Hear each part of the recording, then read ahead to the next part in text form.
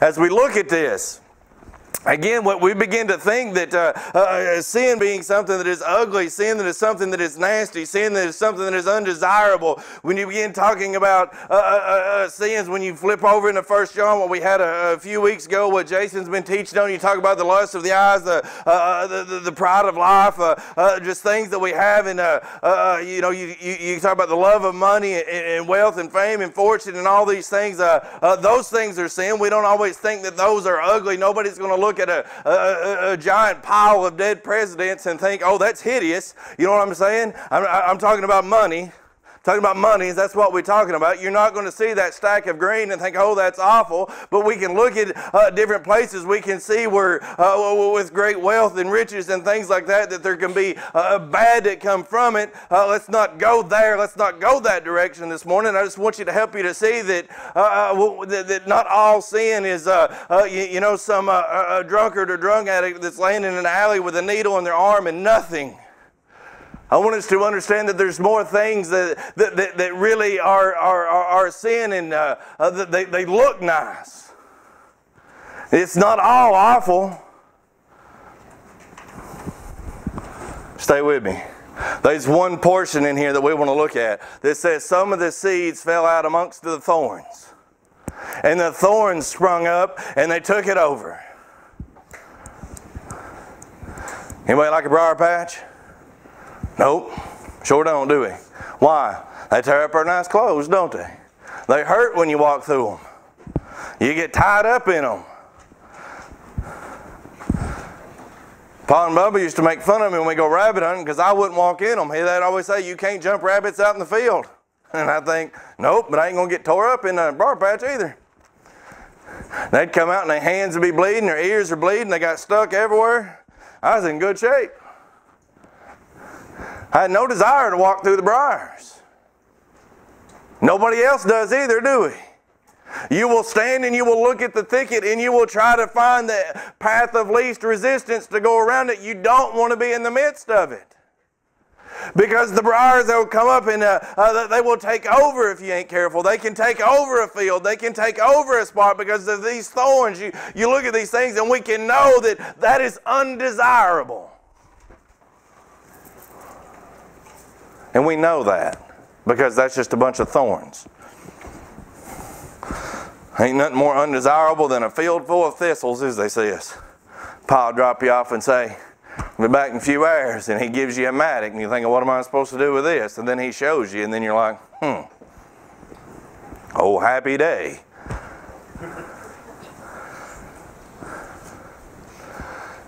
Things like that are unpleasant to the eye. We know that. We can see that. We know that we want to stay away from it. The thorns, easy to see in our life. Hey, we know that we shouldn't be addicted to uh, uh, uh to, to uh, uh, uh, any kind of substances that, that alters our mind, alcohol, drugs, things like that. Hey, we know that. Hey, we know we shouldn't spend hours on the internet looking at pornography. We know that, don't we? We know that that's not things that we should be doing. We know that we shouldn't be uh, uh, uh, uh chasing, uh, if we are married men or women, we shouldn't be chasing after other men or women. Hey, we know those things. Those are the thorns. That's the things that we know, right? That's the ugly part of sin. We know that we shouldn't lie, cheat, and steal, don't we? Those are the thorns. Those are the things that we can see. Y'all with me today? Everybody awake? No?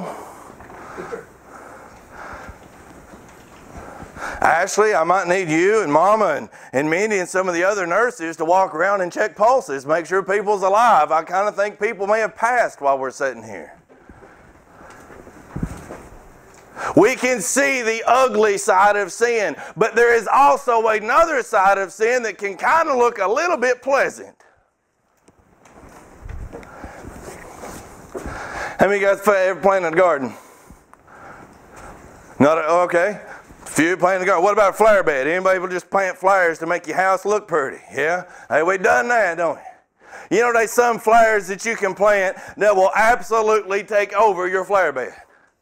You just like planting a few of them because they're pretty, and before you know it, they have taken over everything. And all the other flowers that you like, you know what's going to happen to them? They're going to die out.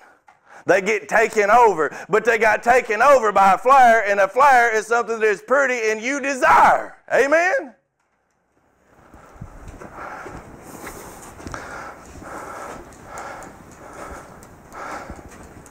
Paul gave us some flowers one time. I'm trying to think what they was. These little bit blue flowers. I planted them in one spot in a flower bed that was over here. But they took over the whole flower bed. It was over here. Oh, blue thing. I want to think they's. I don't know what they was. They's blue. It's all I can tell you. I would eat them things down every year. Hate them.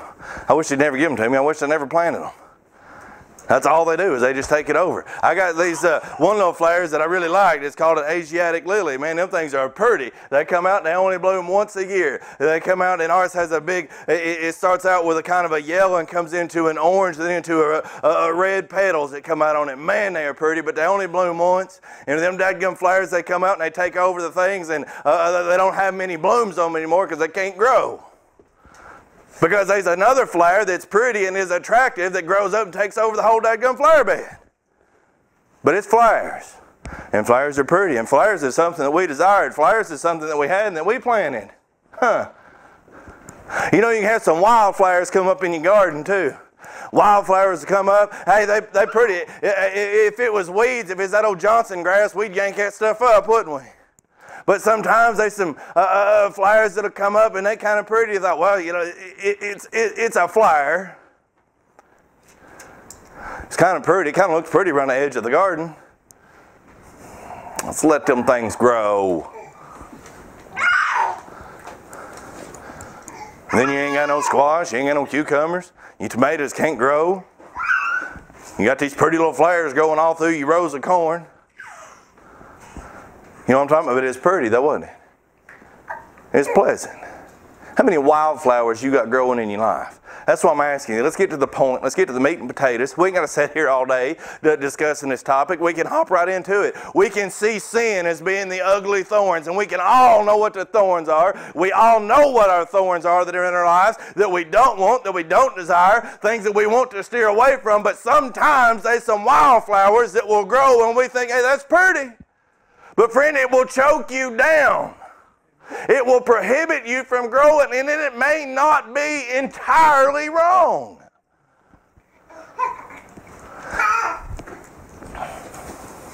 You know what's unique about being flesh? We all the same, but we're all different. Amen. What is a huge temptation to me, a huge problem to me, may be nothing to someone else. Because we are not all, uh, uh, we're all tempted in the same kind of ways with the same effects, the, the, the same environmental things that we see. But at different stages in our lives, they will affect us in a different way. What might start out as a flower today, friend, can grow into being a thorn tomorrow. And before you know it, all these pretty little flowers, it's going to turn into thorns. You know what eventually you've got? You've got a briar patch. But it started out looking pretty.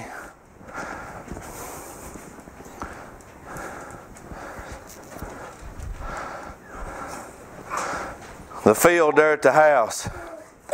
And about late May, there is no grass in that field. All they is is a bunch of yellow flowers. I ain't got a clue what they are, but they all yellow. The kids ride they side by side through there. You walk through there with your pants, your boots, whatever. When you come out of the field, guess what? The, the lower half of you is yellow. People drive by and they'll say, "Hey, that, uh, all them flowers out there in your field, them things sure are pretty. Them, them things are a nuisance." When they blooming, I can't breathe outside. I can't go out there. I can't enjoy nothing out there because all the pollen, it, it, just clogs me up. All the kids have allergies. They can't enjoy it. It is a nuisance.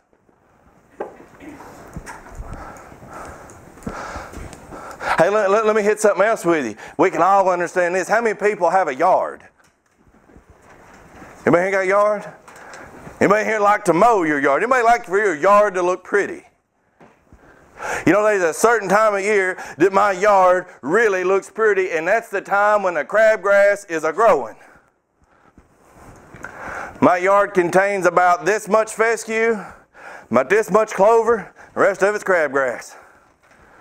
And when you hit about, uh, uh, after about mid-June through August, my yard is pretty. That crabgrass, man, it's green and it's thick. Early spring, getting into this time of year in the fall, my yard looks like a mangy mutt. There's some grass that grows over here. There's some over here. The rest of it's brown. Nasty looking. It's ugly, but it's only pleasant for a time. How many people want to sow crabgrass all up in your yard? Ain't nobody ever goes to co-op and buys a sack full of crabgrass, is they, man? You want fescue. You want the stuff that is going to that, that, that, that is good, that's going to last. And when you sow it, you work up your yard, you do these things, you make sure that it's going to fall on a fertile ground. You guys understand all these points that we are trying to make. Friend, as you being a cold-hearted, uh, you know, uh, hard-headed, uh, uh, stony person, no matter what God throws at you, no matter what He tries to sow, you ain't going to let it grow. You've already got too much stuff growing in your garden. You're covered up with all the wildflowers. You all worried about the, the, the, thorns over here, but you don't care about the wildflowers, the things that look pleasant at the time. You, you judge your yard based on the middle of summer when your crabgrass is in. Friend, our lives is a yearly process. You can't say, well, my life looks good for just a portion right now. God's not going to judge you after a freshly mowed yard in July. You drive by my house and it's good and green then. Thick. I almost got to mow it twice. What's your yard look like year round? What's your yard look like in the early spring? What's it look like in the late fall? Do you work it? You fertilize it? You take care of it? Do we do these things? Hey, I'm not talking about your yard anymore. I'm talking about your spiritual well being. I'm talking about the fact are we content in just knowing what the thorns are and leaving everything else? Are you only worried about the big, the major sins that are in our life, or, or do we ever concern ourselves with the things that ain't so bad? But we'll drown everything else out. You know, start making some more sense of it? Let's start looking at some of those things. Internet's bigger now than it's ever been. Is the internet bad? No. There's good things on the internet. Is there bad things on the internet? Yes. Is having social media bad? No. Is there good things on it? Yeah. Is there bad things too? Yeah. Wildflowers. When they start growing up and overtaking all your Christian aspects of your life, guess what they're becoming? They're becoming thorns.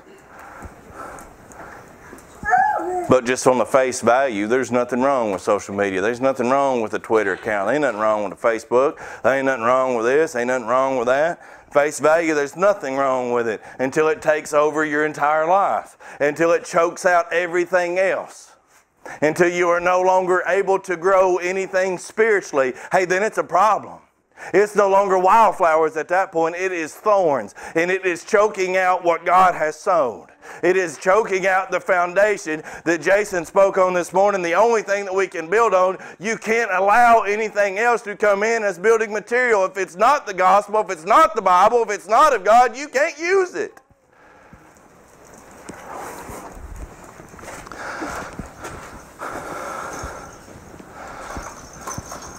There's nothing wrong with your phone. There's nothing wrong with your TV. There's nothing wrong with the, uh, with sports. There's nothing wrong with this and, and that and the different things. There's nothing wrong with your job. There's nothing wrong with this. There's not nothing wrong with working two jobs. Hey, there ain't nothing wrong with working three jobs. But when those jobs become your life, when they become your idols, when they become this, when they become that, when your love for everything else replaces your love for God, friend, it is then a problem. If you know it's wrong, yet you do it anyways, that is a problem.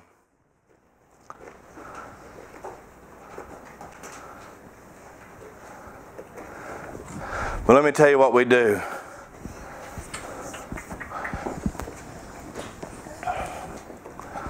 We take our wildflowers. When they start getting big, you know what we'll do? We'll just drive over them with the mower. We'll just chop them down. Ain't no big deal. I can keep doing this. I can let them grow. Ain't no big deal. I can jump on my mower. I can drop the deck and I can roll right over them and nobody will know they's there. But you know what you probably just did? You probably just scattered them seeds everywhere and they're going to come back even thicker next year.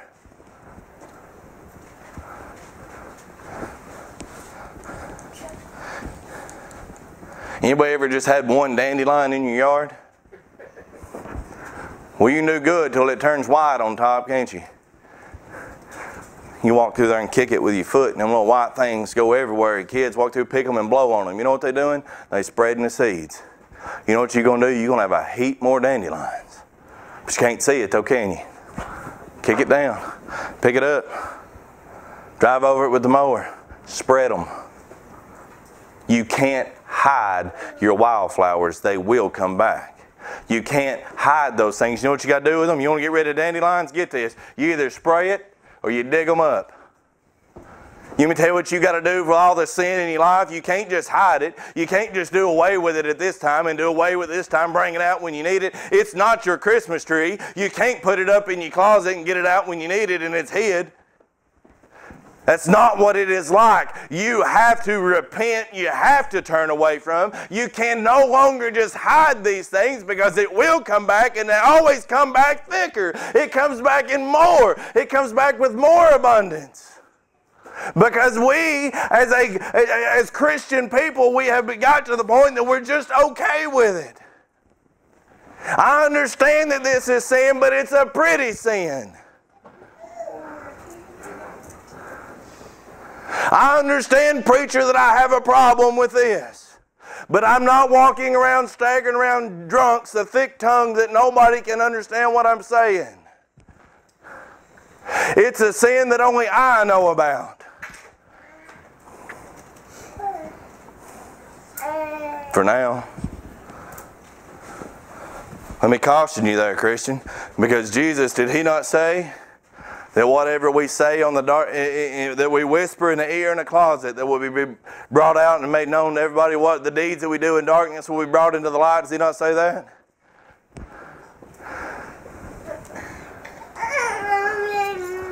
How long are you going to hide it? How long are you going to pretend that those wildflowers are on purpose and that you meant for them to be there? How long are we content with just allowing things to take over our life?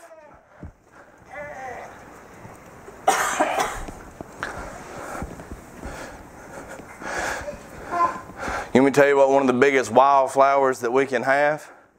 Oh, be careful now. Be careful, I'll make people mad. It can be your husband, it can be your wife, and it can be your kids. Oh, preacher, I got to take care of them. Yes, you do. Yes, you do. But they don't come before God either. Amen. Hmm. Preacher, easy now. You're going to offend me. You're going to hurt my feelings. Hey, I'm telling you, I'm warning you this day. I'm telling you truth that comes from within the Word of God. I am just, just being a good friend here and saying if you ain't careful, even the precious things that God has given you will become your idols.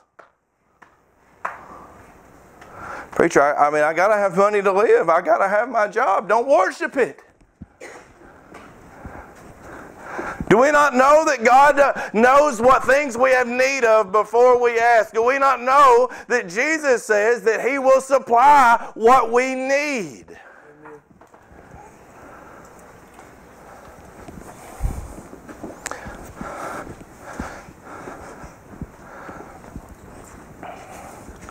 You know, sometimes we would have to work two and three jobs we didn't try to give our kids three times what we had when we was growing up.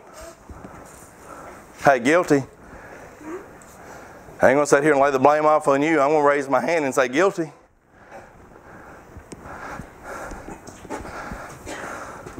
You can buy them all their expensive stuff. You know what my kids are going to play with, anyways? Probably something that we meant to throw in the trash. They'll play with a bag, they'll play with a stick. Jaylee got mad at me here a while back because she had two little sticks that she was playing with one day when we went riding down uh, in behind Michael's, and she gave one of them a name. She wanted to bring these two sticks, sticks, sticks. She wanted to bring these two sticks home. She named them, and I threw them out, and she was mad at me for three hours over it. You walk into her room, and there's no telling how much money we've spent on junk that she don't even like, and she wanted a stick. What I'm telling you is that you can allow all these wildflowers to be there. You can choose them. But they will eventually be a thorn. They will eventually be unpleasant. They will eventually choke everything out that you have to where you don't know if you're coming or going. You'll sit here and say, Well, I used to live for God. I used to put God first. I don't know what happened. I mean, there was a time that, you know, prayer was important in our house. There was a time that prayer was this. There was a time that uh, uh, uh, uh a quiet time, you know, just just us sitting around the table, just us. There, was, there wasn't nothing else. You know, there was a time that these things was important, and I, I don't know what happened. I'll tell you what happened. You allowed your wildflowers to take over your garden. People can be wildflowers too. They can be bad influences on you. They can encourage uh, uh, the wrong kind of behavior. Amen. I'm just telling you, Christian, you know, the Bible says the way of the transgressor is hard. Make no mistake about it, it's hard to live a Christian life, too. That's no easy task. Because you got to constantly be self aware of your surroundings, what's going on. You have to constantly be evaluating and reevaluating your priorities. You have to know what's coming first. And, friend, if anything is on number one other than God, then you're in the wrong. No matter what that is.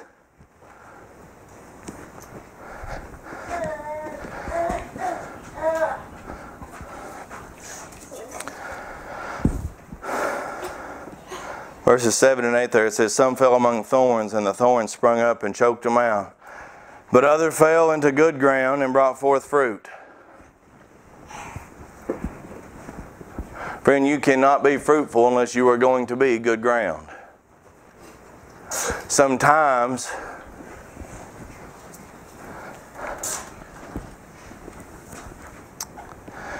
What's that old saying that we say when it rains, it pours? Sometimes you need a pouring rain to wash everything away. Sometimes it's been dry for so long that the ground gets hard as a rock. It's like concrete. Sometimes you need a good soaking rain to loosen it up, don't you? Don't complain about the storm that's going on in your life. Maybe it's washing something away that don't need to be there. Maybe it's allowing your grass to grow. Maybe it's drowning your wildflowers. Who knows? Just want to tell you, God knows. God knows why it's there. God knows why you're going through it. Others fell on the good ground and brought forth fruit, and some a hundredfold, some sixtyfold, some thirtyfold. Then he says, Who hath ears to hear, let him hear. You hear what God's saying to you today? Can you block out all the excuses that we're making?